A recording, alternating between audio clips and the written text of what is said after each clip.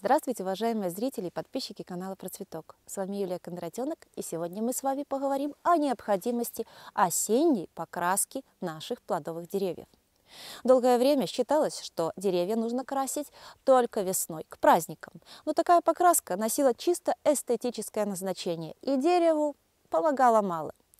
Правильно красить деревья именно сейчас, осенью, период листопада, пока еще погода стоит сухая и нет снега. Для чего это делается? Во-первых, покраска предупреждает появление солнечных ожогов и морозобоин. Во-вторых, она особенно правильно проведенная с подготовкой, препятствует зимовке различных вредителей в складках, трещинах коры. И в-третьих, это защита отчасти, конечно, от зайцев, от мышей, от других вредителей сада и огорода, потому что побеленные деревья они трогают гораздо менее охотно. Итак, чем лучше красить?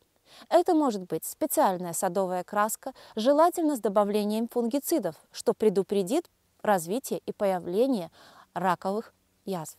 Это может быть краски для интерьерных работ, акриловые либо водно-дисперсионные. Остальные разновидности краски для защиты деревьев лучше не применять. В них могут быть токсические компоненты.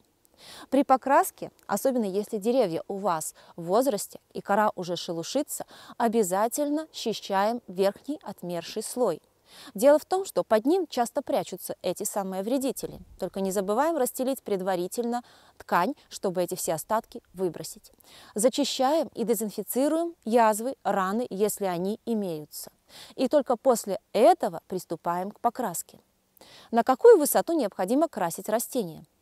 Главным критерием является прокраска ствола до основания скелетных ветвей с обязательным прокрашиванием, тщательным прокрашиванием развилок этих скелетных ветвей первого яруса. Дело в том, что это очень важный узел для жизни растения. Если будут повреждены развилки, то растение может серьезно заболеть и даже погибнуть.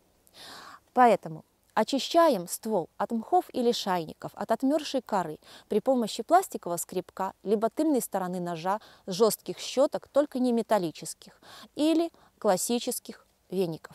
Все остатки выбрасываем вон.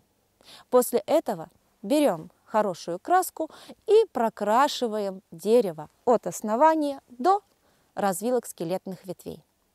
Желательно подобрать такое время, чтобы в течение двух-трех дней погода стояла еще сухая.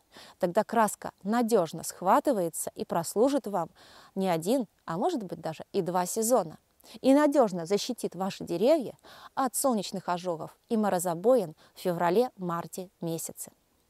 Процветания вам и вашему саду! До новых встреч на нашем канале. Ставьте лайки, смотрите наше видео. С вами была Юлия Кондратенок.